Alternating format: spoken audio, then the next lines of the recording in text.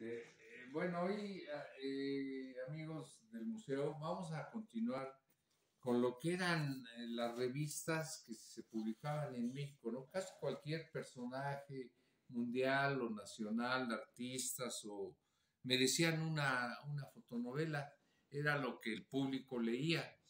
Entonces, este, por ejemplo, aquí tenemos estas que vamos a presentar, que pues el Borras tenía su, su fotonovela, hasta los dioses aztecas tenían su fotonovela, estos de que eran para señoritas y muchachas, eh, las de Corín Tellado y este, Anita de Montemar, también tenía su revista. Eh, Rius eh, publicaba diferentes cuestiones, aquí está por ejemplo este del cucurucho, luego tenemos aquí artistas, de, bueno, jugadores de fútbol, merecían también su, su revista, su fotonovela, ¿no? Y tenían romances aquí en las fotonovelas, aquí teníamos a Chava Reyes, el gran jugador de las Chivas, del, pues las Chivas, la, el pentacampeón o siete veces campeón, ya no me acuerdo, este, de, la, de la época grande de las Chivas, ¿no? Y por atrás pues tenía jugadores de fútbol y luego teníamos estos, como este del Gavilán, luego hasta Blue Demo también merecía su fotonovela, y luego tenemos esta, esta por ejemplo en especial se me hace muy bueno, también tenemos aquí que este, hasta los salones de belleza tenían su, su fotonovela, y esta es muy bonita porque este es el México que yo insisto en que debemos de recuperar y que a los jóvenes de México les, les hace mucha falta este, recuperar ese orgullo de, de ser mexicano. Esta fotonovela la vemos muy bonita y tiene una canción aquí y siempre con esto empezaban. Tiene la, a la orilla de un palmar y que es del gran eh, compositor Manuel M. Ponce, eh, Una Gloria de México, está en re mayor porque tenía aquí los, los acordes de la guitarra. Eh, Manuel M. Ponce, un, un compositor nacido en Fresnillo, Zacatecas, que si ahorita volviera a nacer se volvería a morir ver cómo está su, su, su, tierra donde él nació, que es la más peligrosa ahorita en estos momentos de toda la República Mexicana. Esta canción es una cosa extraordinaria, es la, a la orilla de un palmar, ahorita que están de moda las palmas que se están muriendo, eh, hay varias canciones que, que tocan el tema de la palma, ¿no? Esta es la palma sola que se llama popularmente, que es a la orilla de un palmar, yo vi de una joven bella, su boquita de coral, sus rojitos dos estrellas. Es una canción tremenda que habla de lo que era la vida de México, ¿no? Y estos son los acordes. Y yo quisiera que los jóvenes eh, pues se acerquen más a, a nuestras raíces, ¿no? Eh, la gran canción de Manuel M. Ponce, muchos no la han de, de conocer, pero es Estrellita. Y luego tenía la barca del marino, pero en Estrellita, por ejemplo, es una canción que le ha dado la vuelta al mundo una y veinte y cien y mil veces, ¿no? Y nadie sabe quién es Manuel M. Ni saben qué es esa bella canción. Alguna vez les comenté que deberían de, de también de leer, de oír, escuchar ahorita en el internet, este, cartas marcadas, ¿no? Pero esta canción fue a nivel mundial, ¿no? A la orilla de un palmar y es una canción de que refleja una tristeza profunda de México, ¿no? Por atrás, pues temas religiosos. Tenemos estas que de, ya les dije, pues cualquier eh, artista o lo que sea merecía una fotonovela. Aquí le inventaban algunos romances o locuras. Estos son los Monkeys. Y aquí tenemos otras dos de José G. Cruz que, pues digo, dice la leyenda urbana que también fueron amoríos de José Cruz, que es la tigresa Irma Serrano, que llegó de Chiapas y, este, y era sobrina de un político mexicano, ¿no? Jorge de la Vega Domínguez, y este y el, único hombre que hizo chillar a la tigresa, llorar y arrastrarse fue José G. Cruz, que cuenta la leyenda urbana que la bajaba del carro casi a patadas y ella le, pues, le rogaba, ¿no?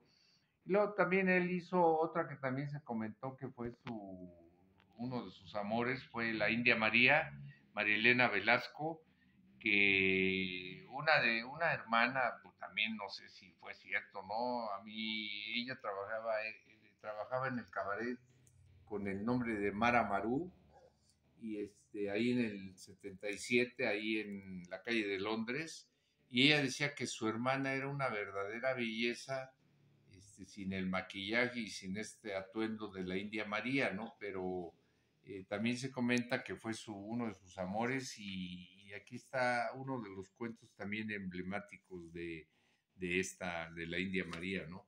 Este, pues ya ni quiero decirles, pero es también de, de, hace 50 años, ¿no? El partido que ha traicionado a México, pues hay cada quien que interprete quién es, si el azul, el verde, el, el violeta o el que sea, o el morado, ¿no? Las, también las, las masajistas merecían su revista, eh, su, su, fotonovela y cosas muy curiosas, ¿no? Tintan también tenía su, su fotonovela. Eh, Extabay, que era una, una gran bailarina del Tivoli, este, que se, finalmente parece que se casó con un rico de allá de Chihuahua, ¿no? Eh, el Panzón Panseco, que era un gran cómico cuando éramos niños, ¿no? Este, muy, muy chistoso. Él trabajaba para Colgate y anunciaba pastas y jabones, ¿no? Este de, de los charros, un charro mexicano, ahí está trepado sobre un caballo que parece de utilería y este hasta el hospital general merecía historias de, de, los pacientes que estaban ahí en el hospital general, ¿no? Por supuesto, Pedro Infante, que tuvo cantidad de revistas y de, editoriales que, que, se aprovecharon de su muerte prematura y hicieron cantidad de cuentos de Pedro Infante, ¿no? Eh, luego tenemos una película que se puso de, de, gran moda, Angelitos Negros, también con Pedro Infante y, y la terrible y, y, grandiosa Toña la Negra, que cantaba fenomenal y era una de las grandes eh, estrellas de México, ¿no? Esta Calimán, que pues aquí él podía con todos sus, sus enemigos, lo que no podía es con los imitadores que le cambiaban acá la K y le ponían Salimar, ¿no? Pero el personaje prácticamente es el mismo y, o sea, no podía contra la piratería, ¿no? Entonces después, este, Marino, que era uno de los grandes caricaturistas, también sacaba sus cuentos.